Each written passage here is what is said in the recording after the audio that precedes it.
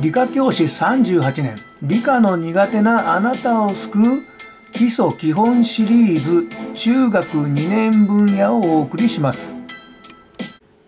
単元に第3章動物の分類についての問題です。はい動画を止めて答えを言ってみてください。はいでは1番。これはまあ超基本問題です。はい、下の A から E A から E で背骨があるのは、はい、えー、記号で答えてください。背骨があるのは、はい、はい、B、C、D です。そして背骨がないのが、はい、2つ。A の人手とカブトムシ E です。はい、そして背骨のある動物のことを何動物というか、脊椎動物。背骨のない動物を無脊椎動物と言います。えー、脊椎と脊髄というのを間違えないようにここでは背骨のことを脊椎と言います。よろしいでしょうか。はい、2番脊椎動物の特徴についての問題です。動画を止めて答えを言ってみてください。はい、では説明します。はい、まず A の船あこの動物はどこで呼吸してますか？はい、もちろんエラです。それに対して B、トカゲの呼吸しているところは、はい、肺です。えー、そして、えー、このトカゲのように一生、この肺で呼吸をしている動物は他にどれがありますか？はい。D と E。はい、D の歯と E のウサギです。はい、親が卵を産み、卵から子が帰るようなこの生まれ方を何と言いますか？はい、卵生と言います。はい、卵生に対して母体内である程度育ってから子が生まれる生まれ方を、はい、胎生赤ちゃんとして生まれてくる胎生です。はい、右の図で、えー、赤ちゃんを産むのは、はい、赤ちゃんを産むのは、はい、胎生の動物はどれですかはい、E のうさぎだけです。えー、分類名について、はい、A から、はい、ABCDE はい、分類名を言ってください。A は、はい、魚ですが、魚類。はい、B、トカゲの仲間。はい、爬虫類。はい、C のカエル。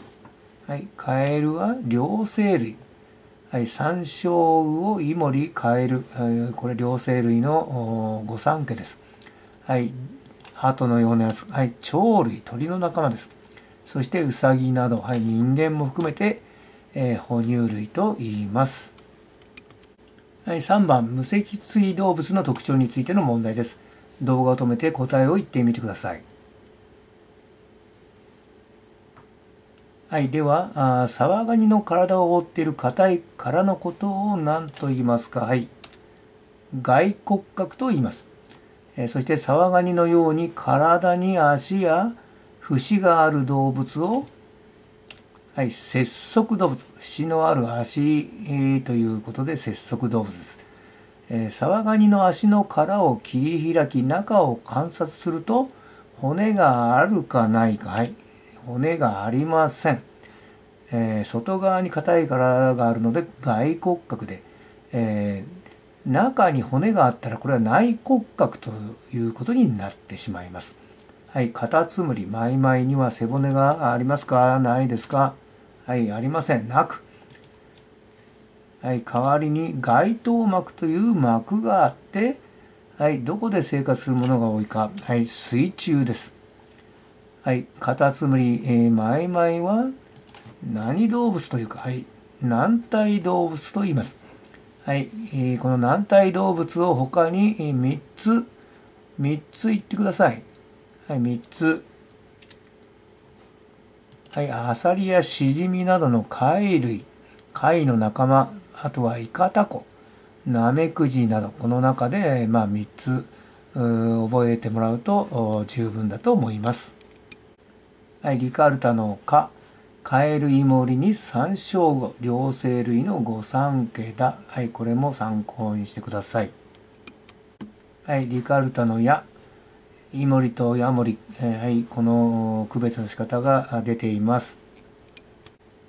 はい、リカルタの無、はい、無脊椎動物についての詳しい説明が出ています。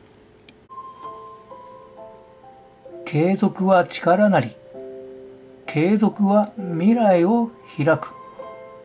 継続が夢を実現します。